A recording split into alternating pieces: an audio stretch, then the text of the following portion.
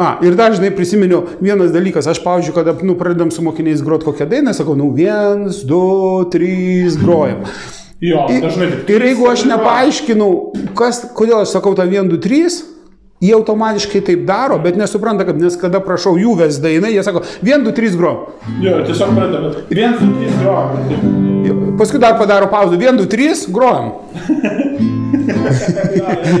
Ar ne? Jo, iš tikrųjų, reikia paaiškinti, ką mes turime omeny, ko jam tikėtis, nes jie išgirstų 3, 4 arba 1, 3, tai nežinau, o kas toliau. Nes čia ir būtent yra tempas, ar ne, jeigu aš sakau greitai, 1, 2, 3, tai aš jau duodu tą pulsaciją, reiškia taip aš ir grosiu. Tam, tam, tam, tam. O jeigu aš sakysiu greit, 1, 2, 3, tam, tam, Praktiškai galvos tas linksėjimo tempas yra duodamas greitis, ne? Taip. Pavyzdžiui, 1, 2, 3, 4, ten važiuoja, žinai, kažką. Tai čia tas 1, 2, 3 ir yra tas tempas, kuriuo turėtum linksėti. Taip, arba- tai širdis, kaip širdį užvedu ir plaka mano arba širdis kūrinio. Tai taip, koja dažnai muša. Kojos tiesiog eina 1, 2, aš jau koją pradedu mušti 1, 2, 3, 4 ir tada pagal tai, kaip, kaip pulsuoja, ne, kaip, kaip, kaip mano kūnas, ta prasme, jau jaučia tą ritmą, pagal tą tempą aš galiu braukti dešinę ranką. Nes labai dažnai, žinai, ką daro?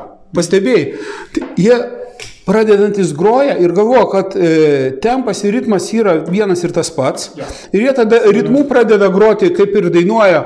O svajokli mano, mielas svajokli, tai ne tavo, tai ne tavo, tai ne. Oi, aš ne nuo to akordo pradėjau, nuo, nuo C pradėsiu. Galima ir nuo G beje pagroti. O svajokli mano, mielas svajokli, tai ne tavo, tai ne tavo. Jie pagal, pagal Jo, jo. kūrinio vis Tai dažnai, Ne- tai retai, tai greitai, tai retai. Bet taip kaip dainuoja, o čia yra skirtingas, tai reiškia pulsacija yra stabilu ir pasikartoja visą laiką, aš duodu tempą. O jau kaip dainuoju ir natos įsidėsiu ilgesnis, trumpesnis, čia jau kitas, man nereikia Toks to sekti. nuolatinis dalykas gaunasi, automatiškai to lygiai susidėlioja tie, tie, tie e, pul- pulsai, kaip, kaip Nu, Metras skaitosi, kūrinio metras, ar ne? Intervalai, tie, tas sudėtingas žodis, ne, bet Metrai. Jo, jo, laikas, tarp, atstumas tarp tų, tarp tų. paprasčiau sakant, tai yra atstumas, ar ne? Vienodas atstumas tarp vieno ir kito, va šito. Jo. jo, arba kaip aš galvoju, bum, bum, vadarau vienodą atstumą. Gerai, Tai tarkim mes pagaunam jau šitą pulsaciją, kažkas man duoda 1, 3, 4, arba aš pats e, klausydamasis dainą, aš pasileidžiu dainą, klausau, dar negroju, tai klausau ir bandau susirasti tą pulsaciją, tą e, greitį, kuriuo aš linguosiu. Ne?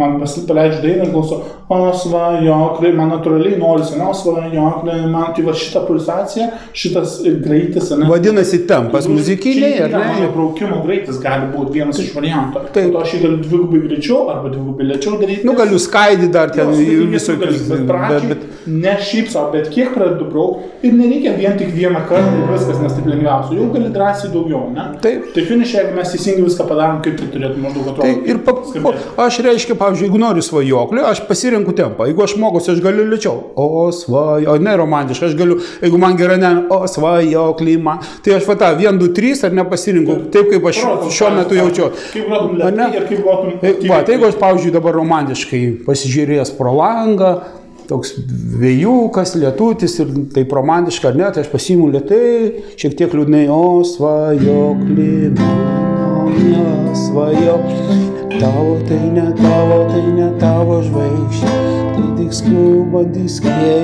tik toli, Visai gerai. tai tik skraido. Ir taip gali būti, tai nėra blogai, ar ne? Jau įdomu, ne vieną kartą. Taip, va, aš galiu greitam tempę. Tum, tum, tum, ane. O svajokli mano, mielas svajokli, tai ne tavo. Tai... Jei dar nemokote groti gitarai norėtumėte išmokti patobulinti savo turimas žinias, Apačioje matysite nuorodą, kur galite pasirinkti nuotolinius mokymus, interaktyvę knygą įsigyti ar individualias pamokas.